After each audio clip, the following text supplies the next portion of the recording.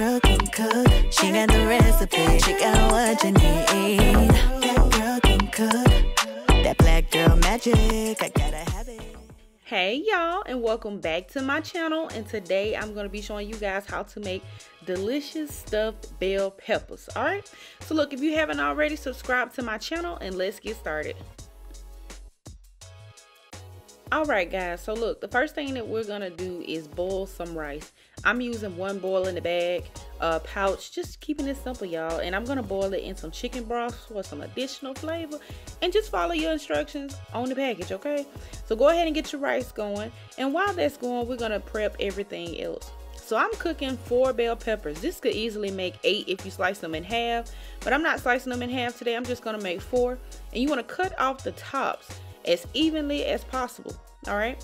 And you want to peel out all of that rib meat. We don't need that y'all. Take that out okay? Discard that.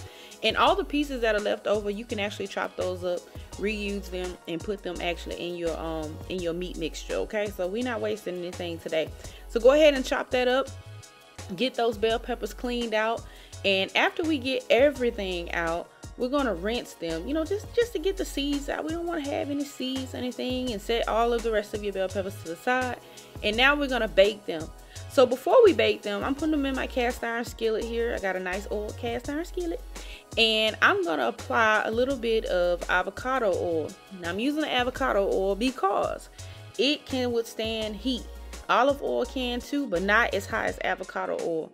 So um, i'm not worried about these burning when i put them in the oven for an extended period of time. So i'm just going to rub the uh, avocado oil all over it.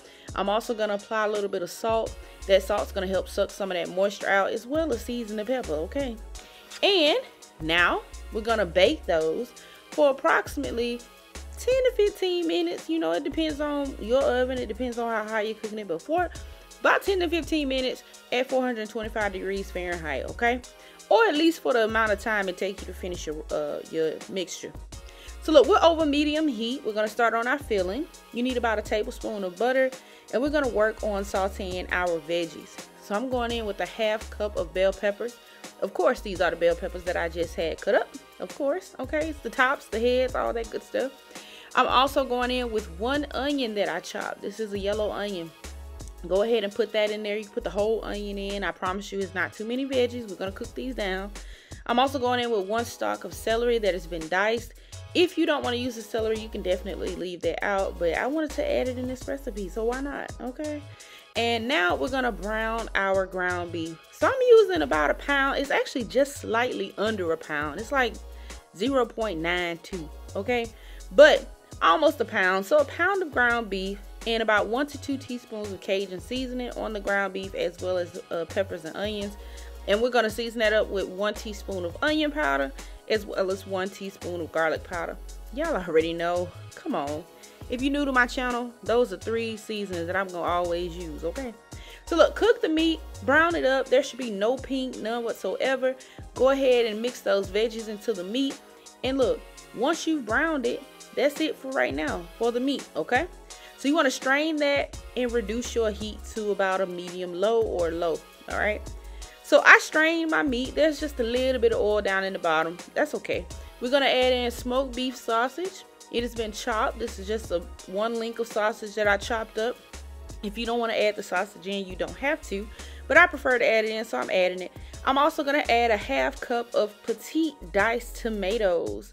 Y'all, the tomatoes definitely give this a little bit of But if you don't like tomatoes, you can leave those out too. And look, y'all, there's our rice. It's cooked. All of that rice is going into this mixture. I promise you it's not too much, okay? So go ahead and add that cooked rice in there. It doesn't have to be cold. It doesn't have to be room temperature. If it's hot, you can go ahead and add it in. And we're going to go in with an 8 ounce can of tomato sauce. So I added in the first half here. And then I added in the next half after I mixed it up. Because I wasn't sure if I was going to add all of it but I actually ended up doing it anyway. So I added in the second half. Usually I always do a half can, but I wanted it to be a little bit more moist, so I added in the whole can, okay? So we're seasoning it up a little bit more. I'm going in with a um, black pepper, just to taste, as well as a tablespoon of hot sauce. And y'all, that's it. That's all. You guys, it is so flavorful. I'm telling you, you can taste that right there, right then. You don't even have to do much else. But look, y'all, the peppers are ready. You see they're cooked down, they're nice and soft. They could go for another 10 minutes or so. And we're actually just gonna stuff these up, okay? I like to stuff them all the way to the top. As much filling as I can get in there. And I also like to put just a little bit more on top.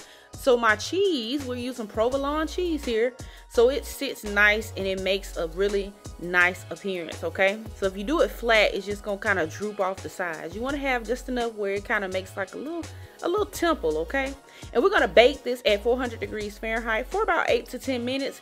If it takes less time, that's totally fine. If it takes more, that's fine. And baby, look, honey, that is it, honey.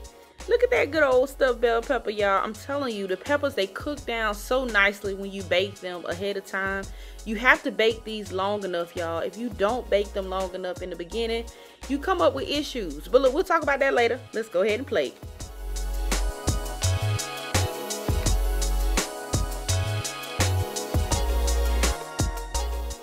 And there you have it guys our delicious stuffed bell peppers. You guys super quick super easy super simple. Y'all making sure that you bake that bell pepper down where it's cooked all the way through is the key and you will enjoy this recipe y'all i promise all right?